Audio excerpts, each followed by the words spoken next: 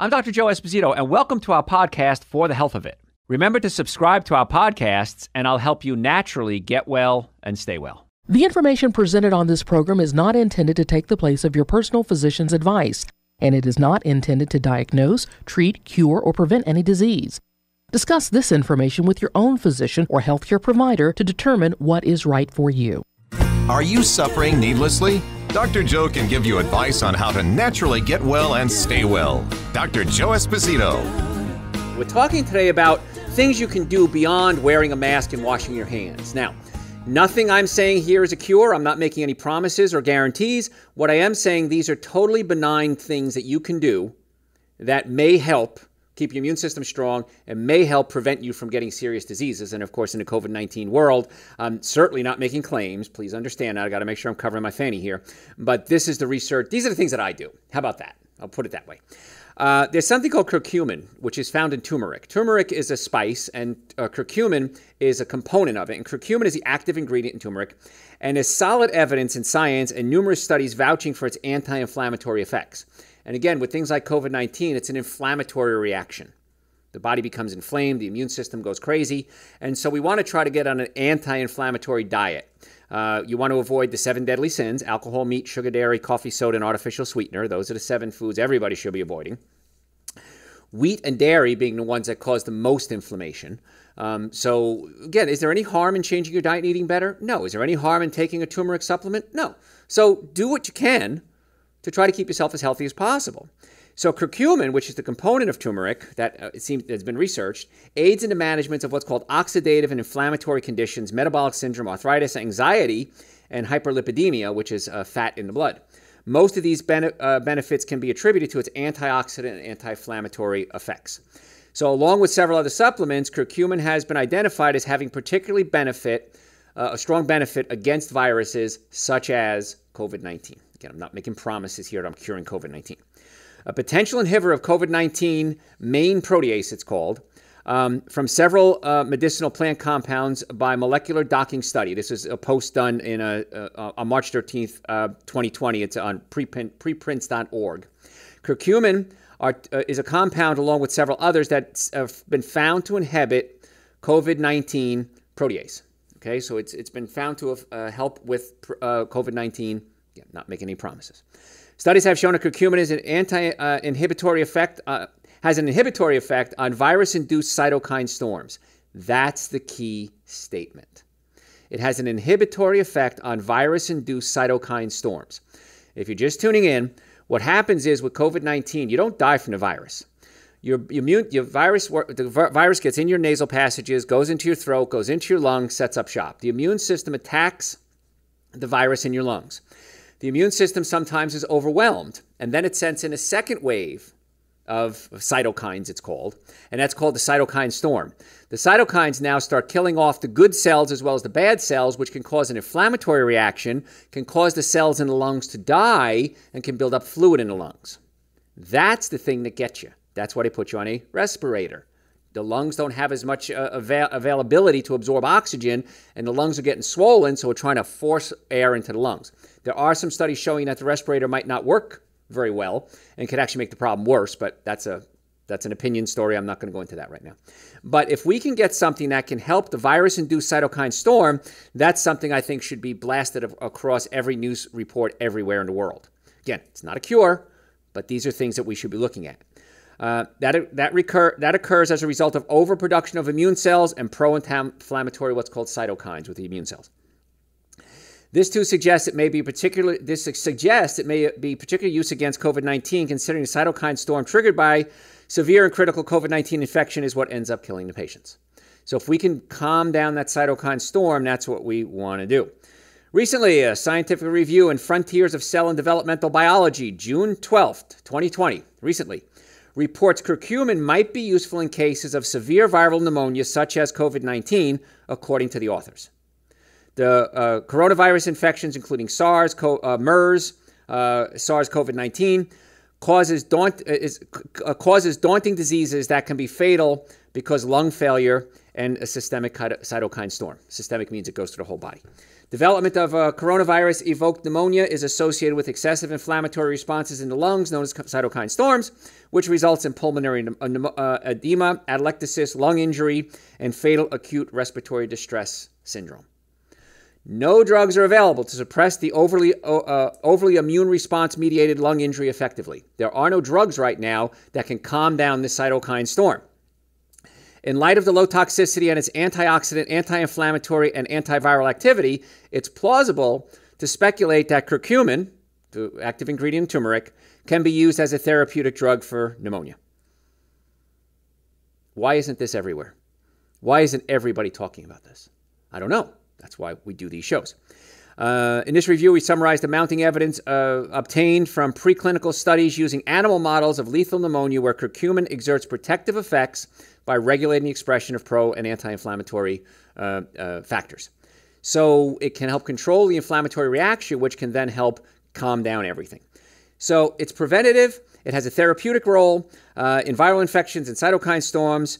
So there's no reason why this shouldn't be tried. And that's the thing is we haven't found any reason why you shouldn't be trying this. Uh, one important mechanism behind curcumin's benefit is its ability to modulate the immune response. When I say modulate, control it. It can increase it or decrease it. That's the neat part about it. Now, there's different types of curcumin. You can get a curcumin that is uh, extracted from the turmeric in a concentrated form, and you would think, well, wait a minute, that sounds like a good thing. If I can concentrate down the curcumin, the active ingredient, that's what I want to do. It doesn't work that way. Because what happens is we find that supplements work well in a symbiotic relationship. What that means is they work well together, they play well together. So if I'm going to take just vitamin D, okay, vitamin D, vital for the immune system. Another thing I wish people were doing is when they're testing for uh, COVID 19 tests, I wish they were taking a vitamin D test as well. And if you're low in vitamin D, you want to get your vitamin D levels to 30 nanograms per milliliter or higher. The higher the vitamin D levels, the lower the risk of COVID 19. Now, to play devil's advocate, I'm going to come back around again to curcumin, don't worry. To play devil's advocate is people that have high, high vitamin D levels are probably healthier anyway. So I'm going to argue with myself on this one. Yeah, but those are probably healthier people anyway. Yeah, but it's a simple, easy, very inexpensive thing we can do is get our vitamin D levels up. Make sure it's vitamin D3, not vitamin D2. Vitamin D2 is the synthetic version of D3. So we want to take vitamin D3, uh, on our website, drjoe.com, is the vitamin D that I take. Vitamin D works well, but it works better with vitamin K2. That's why in our supplements we add vitamin K2 to our vitamin D3. It's pretty simple. Why not do that? I said it's the cheapest insurance policy you'll ever buy is getting your vitamin D levels up. If you don't want to do that, okay, get out in the sun for 20 minutes a day. Go for a walk. You know, wear short sleeve shirt and the shorts and get out in the sun every day, If spring, summer, and fall. Um, in the winter, you're not going to get your vitamin D. There's no way you can get it from the sun unless you're living close to the equator. And so, if that's the case, then you definitely have to uh, take the supplement. But unless you can get out in the sun half hour a day and absorb the sun and not shower right away, because when you shower, it washes off the vitamin D before it can get absorbed. It's UVB rays in the sun that interact with uh, cholesterol in the skin to create the vitamin D to get absorbed. So if you wash it off right away, you're not going to get all the benefits. So get out, go for a walk, go get out in the garden. I love gardening, so I get out in the garden uh, almost every day. Um, you can do it early in the morning, 9, 10 o'clock. You're going to get good rays. 12 o'clock, it's a little intense, a little too much. Um, walk to the store. If you live close to a store, don't drive, walk. Get a dog. Take your dog for a walk. Take your neighbor's dog for a walk. I'm sure neighbors would love to have you walk their dog for them. But get out in the sun or take your vitamin D. So if I was Grand Poobah of the universe, I'd be checking everybody's vitamin D levels, and if it was low, I'd get their, their vitamin D levels up. The curcumin, extremely inexpensive. In fact, in my garden, um, I have turmeric growing like crazy. Now, curcumin is a component of turmeric. Got it?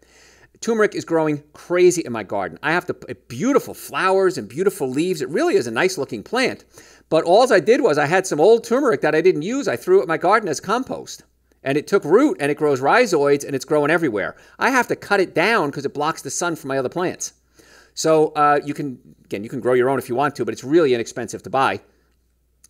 And what we're finding is the studies that they did were on curcumin, which is an extract of the turmeric. Awesome. There are also studies that the whole root is better than the curcumin because it works synergistically or symbiotically with the other components that are found in the root. That's why I created Dr. Joe's Super Greens and Dr. Joe's Essential Source.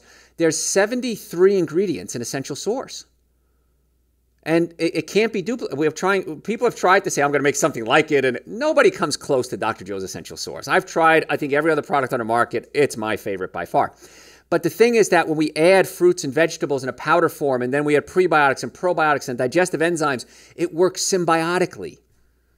And a lot of the research hasn't, we don't know when you take 72 ingredients, which two and what five and what 10 are giving you the benefits.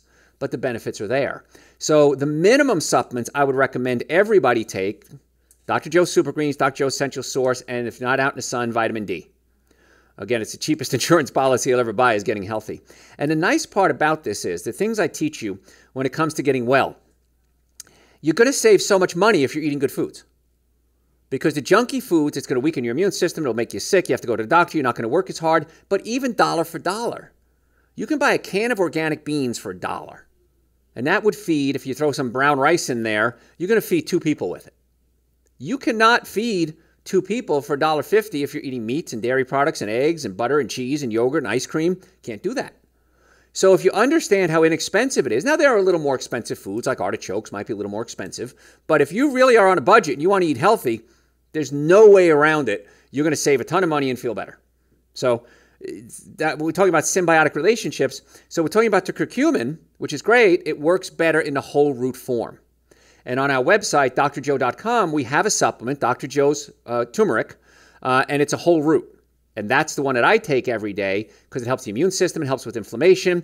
Uh, there have been studies that it can help fight cancer cells. So I'm not saying we have a cure for anything. I'm going to say it a thousand times over in case you're just joining us. But I want to let you know that these are the things, these are the easy, inexpensive steps that you can be doing. And when it comes to food, you have to eat anyway. You might as well eat good food. So you say, well, Dr. Joe, I can't afford supplements. Well, you can't afford not to take supplements, actually. But I, countless patients have told me, Dr. Joe, I eat less food when I take my supplements because I'm not as hungry. Because when you're hungry, you're not hungry for food, you're hungry for nutrition. And when you give the body high levels of nutrition, chances are you're going to eat a lot less. Get the bad food out of the house the breads, cookies, cakes, donuts, pastas, alcohol, meat, sugar, dairy, coffee, soda, artificial sweetener. Get them out of the house, especially in a COVID crisis like this. Get it out of the house because you're going to be tempted to eat it.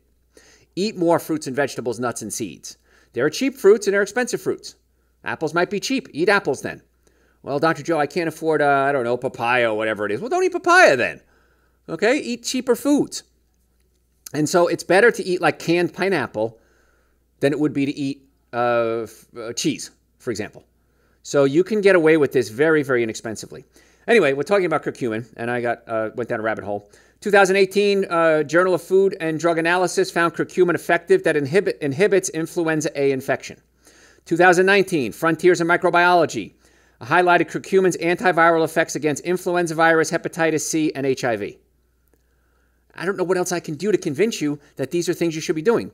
Numerous in vivo and in vitro, that means in humans and uh, live and, and in test tubes, uh, studies have been shown that curcumin and its analogs markedly inhibit the production and release of pro inflammatory cytokines IL 1, IL 6, IL 8, and TFN.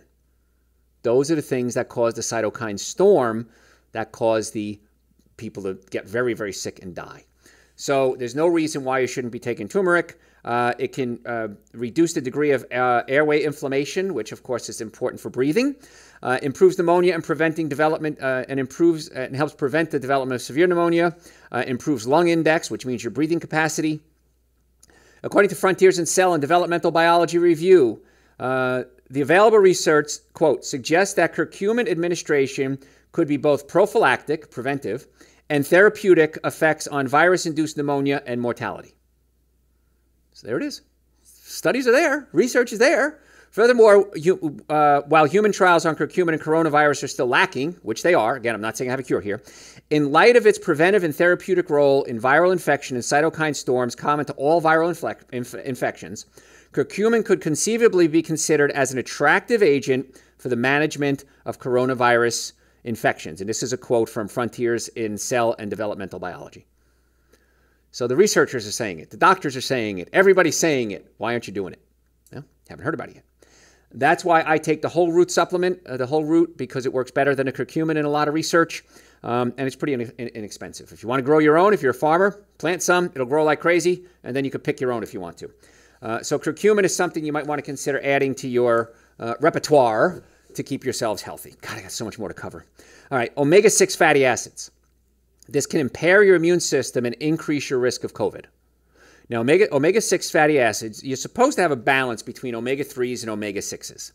The omega 6s are important, just like omega 3s are, but most people have a balance of one omega 6. You're supposed to have one omega 6 to one omega 3. Most people have 10, 20, 30 omega 6s to one omega 3. And at that level, something that's good for you, small amounts of omega 6s, actually become extremely toxic and can make you really, really, really sick.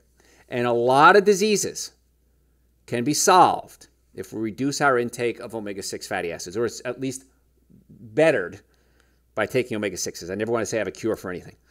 It's man made, processed, nutrient deficient, and toxic foods that are driving all chronic diseases. They're driving heart disease, stroke, hypertension, cancer, metabolic syndrome, obesity, and macular degeneration.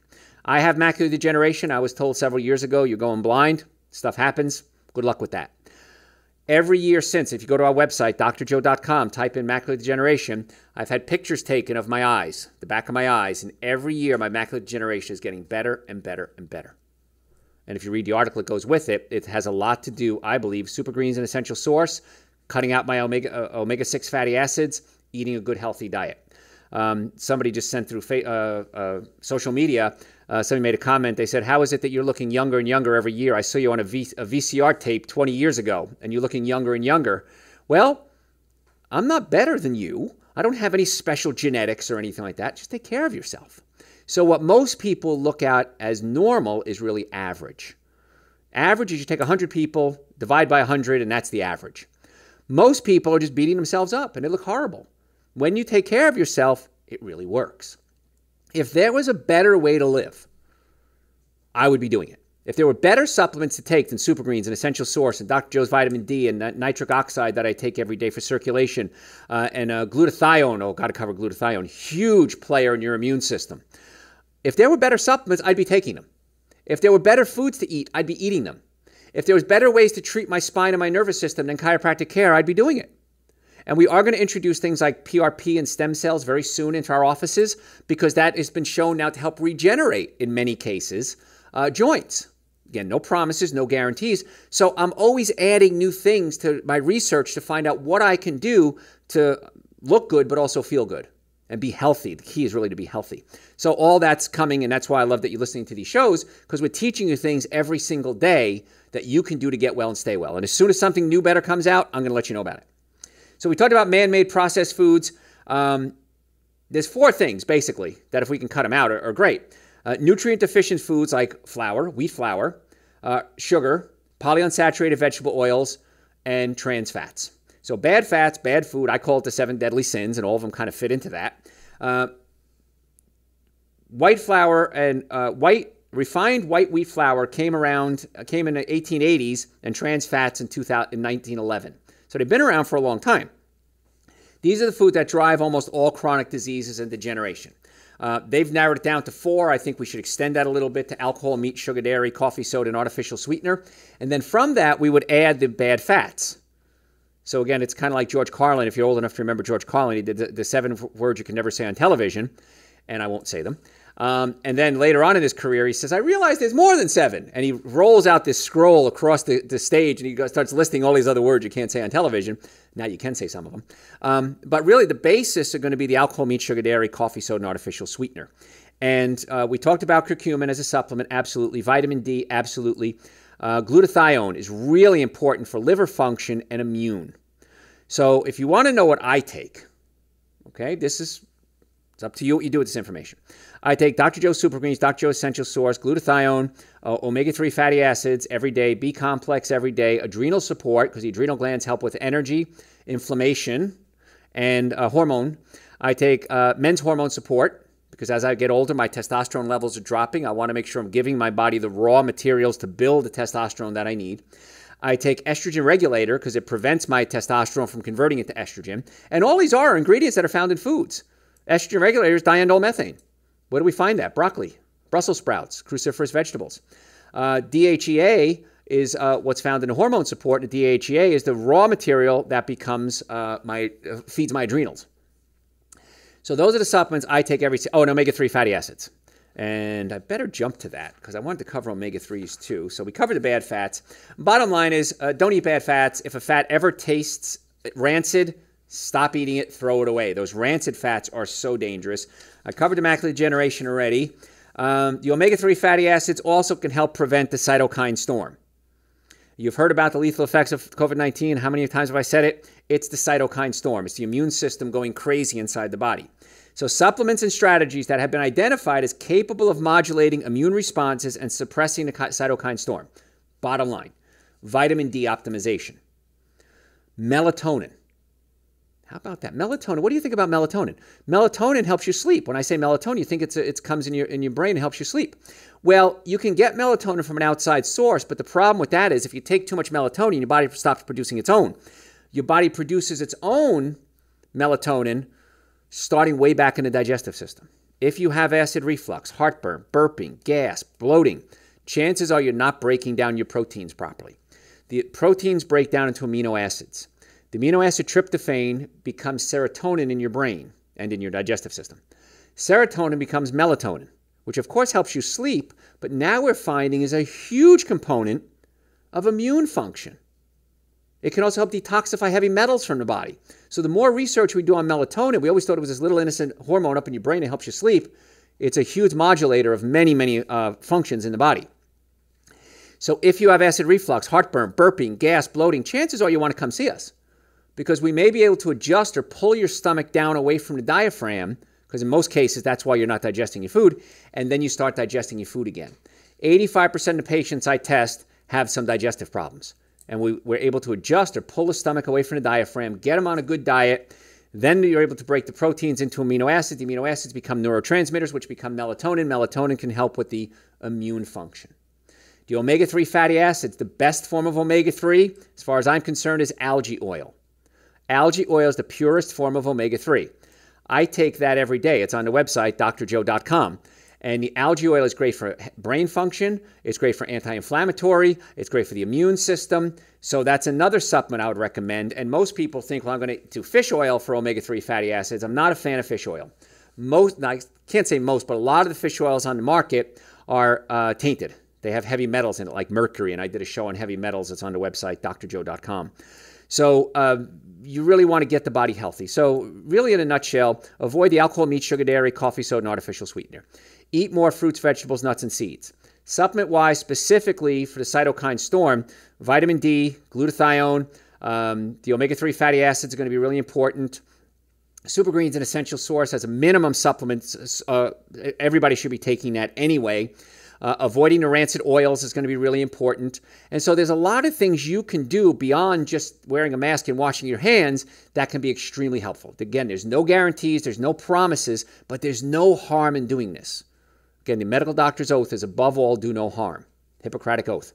So you can do these things, and there's not going to be any downside to it, and there's a lot of upside to it as well. Um, and so if you don't know what to eat, go to our website, drjoe.com, and you can uh, listen to the shows we've done. Uh, listen to So What Can I Eat? If you want to know what not to eat, listen to the Seven Deadly Sins of Nutrition.